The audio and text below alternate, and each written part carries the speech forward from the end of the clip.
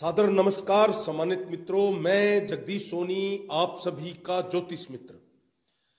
आज बात करते हैं शनि ग्रह के अस्त होने की।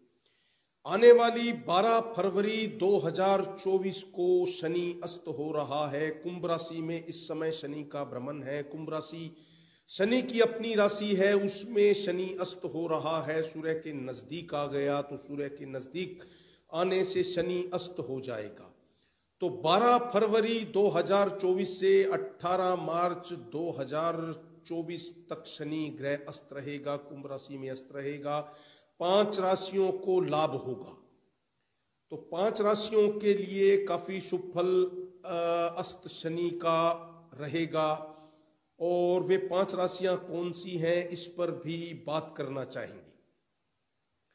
तो मित्रों, जब शनि ग्रह अस्त होता है तो शनि और भूमि से जुड़ी हुई सभी चीज़ों के व्यापार में काफ़ी मुश्किलों का सामना करना पड़ता है। तो शनि अस्त हो रहा है तो लोहा, तेल चमड़ा, प्लास्टिक, इससे जुड़ी हुई चीज़ें, या फिर भूमि से जुड़ी हुई चीज़ों के व्यापार में काफ़ी मुश्किलों का सामना करना पड़ेगा।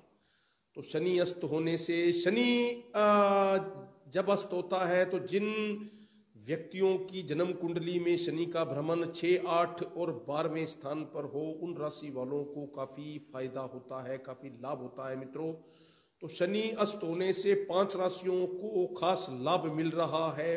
वे पाँच राशियाँ कौन सी है? इस पर भी चर्चा करना चाहूँगा। सभी बारह राशियों में उन पाँच राशियों की बात करना चाहूँगा। सबसे उन सभी राशियों में पहली राशि मिथुन है। मिथुन राशि के भाग्य स्थान पर शनि अस्त हो रहा है तो कुंभ राशि का शनि भाग्य स्थान पर है। भाग्येश का भाग्य स्थान पर होना वैसे भी बहुत अच्छा माना जाता है, लेकिन वहाँ अस्त हो जाएगा तो व्यापार में आपको काफ़ी बड़ा फ़ायदा हो रहा है। दिया हुआ पैसा, रुका हुआ पैसा आपका वापस मिल रहा है। विदेश यात्रा पर जाने का मौका मिल सकता है। लंबी यात्राओं के योग बन रहे हैं। अगली राशि है कर्क। इसके अष्टम घर में एट्थ हाउस में शनि अस्त हो रहा है तो अकस्मात अचानक लाभ होने वाला है। अचानक आपको कहीं से कोई रुपया, पैसा मिल सकता है, रुका पैसा भी आ सकता है। तो अकस्मात आपको धन योग है और इसके साथ आपको भी विदेश जाने का मौका मिल सकता है। स्वास्थ्य में भी आपको आश्चर्यजनक सुधार दिखाई दे सकता है। अगली राशि सिंह है। सिंह राशि की बात करते हैं सप्तम स्थान पर। शनि अस्त हो रहा है। सिंह राशि के जिन व्यक्तियों के वैवाहिक जीवन में अशांति थी, उन उन्हें काफ़ी राहत मिलेगी। शनि के अस्त होने से उनके वैवाहिक जीवन में शांति आ जाएगी, रोज़गार से संबंधित भी। अगर कोई मुश्किल आ रही थी तो वह मुश्किल भी समाप्त हो जाएगी। आपको कार्य क्षेत्र में, नौकरी, व्यापार में काफ़ी बड़ी सफलता मिलने की प्रबल संभावना रहेगी। अगली राशि है कन्या। इसके छठे घर में शनि अस्त हो रहा है। शत्रुओं पर विजय मिलेगी। कोई नई नौकरी मिल सकती है, कोई नया ऑफ़र आपको उत्साहित कर सकता है। आपको स्वास्थ्य से संबंधित भी काफ़ी लाभ होने वाला है। आर्थिक स्थिति में काफ़ी मजबूती दिखाई देगी। और पाँच राशियों में अंतिम राशि मकर है। मकर राशि को पैतृक धन मिल सकता है।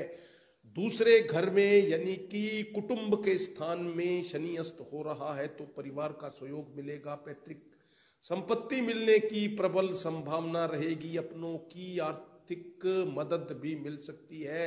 रुका हुआ काम भी आपका बन रहा है। तो मित्रों, जिन व्यक्तियों के लिए अस्त शनि ठीक नहीं है, उन्हें क्या करना चाहिए? उन्हें प्रतिदिन सूर्यास्त के बाद शनि स्त्रोत का पाठ करना चाहिए। शनि स्त्रोत का पाठ करने से कभी भी शनि का बुरा फल नहीं नहीं मिल